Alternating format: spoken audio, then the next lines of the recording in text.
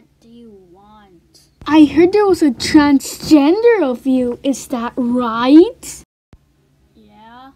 So that basically means you're gay? Yeah. Yes!